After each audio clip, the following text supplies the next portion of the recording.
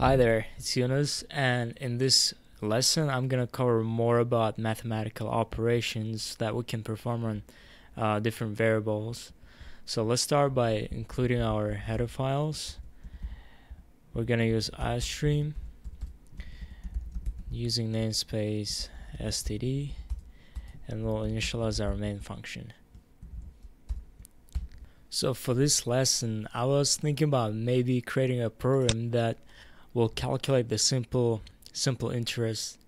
So for the formula for the simple interest is interest equals the principal or let's say the amount of money that we had times the rate times the time that is spent in our account.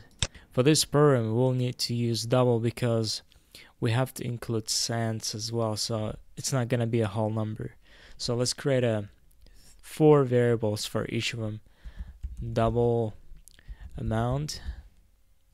And let's initialize it to 15,000 our rate uh, rate is gonna be double as well. Rate double. And let's say the rate is 5% but you'll have to divide it by 100 so that's actually gonna be 0.05 this means 5% and I, we can leave time as integer because let's say each month our interest goes by 5% from the amount. So let's say integer time. And uh, we'll initialize the time to one year. That's going to be 12 month. Let's calculate our formulas. Oh we forgot to create a variable for interest.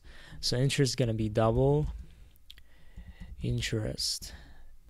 We don't know the interest amount yet, so we'll initialize it to zero for now. Let's actually calculate our in, uh, interest. So we'll say interest equals amount times rate times time and uh, let's display that on the screen. Interest. Uh, let's not forget return zero.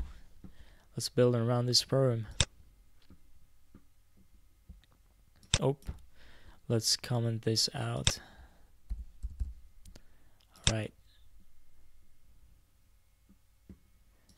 so if we build around this program we got 9000 that mean that means if each month uh, we have 5% interest from 15000 in one year we can earn $9000 and on top of that we can display the total as well.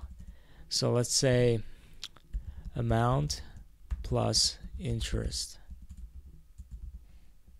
This means our initial amount plus the money that we earned on interest if we add them together it gives us the total amount of money in our account. Let's run this. 24,000 that means we multiplied amount by rate by time. It gets 9,000 and 9,000 plus 15,000 it gave us 24,000 total. Um, thank you for watching.